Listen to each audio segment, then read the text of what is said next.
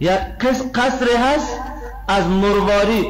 در داخل این قصر هفتاد سرای هست. هفتاد حویلی هست که اونها از یاقوت سرخ هستند. و در داخل هر حولی هفتاد خانه وجود داره از زمرد سبز. در داخل هر حولی هفتاد خانه هست از زمرد سبز. و در داخل هر خانه هفتاد تخت است. هفتاد تخت گذاشته شده و در روی هر تخت هفتاد رخت خواب است که از هفتاد رنگ گرفته شده. هفتاد رخت خواب که از هفتاد رنگ گرفته شده.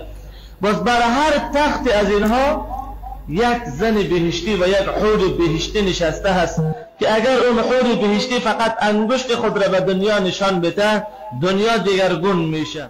باز در هر خانه هفتاد سفره پهن شده هست. هفتاد دسترخوان پهن شده هست.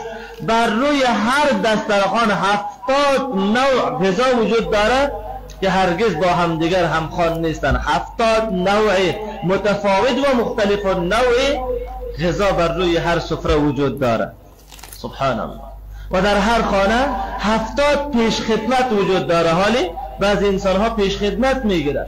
در هر خانه هفتاد پیش خدمت وجود داره که به این بهشتی خدمت می‌کنه.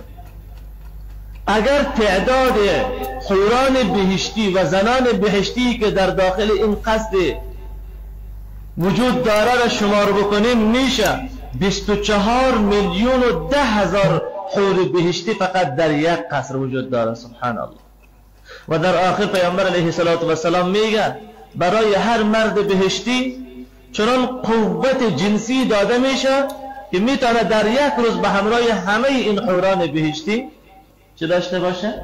مقاربت داشته باشه. واقعا هم این نعمت بزرگی هست که الله رب العالمین در بهشت برای مردان مؤمن و زنان مؤمنه قرار داده.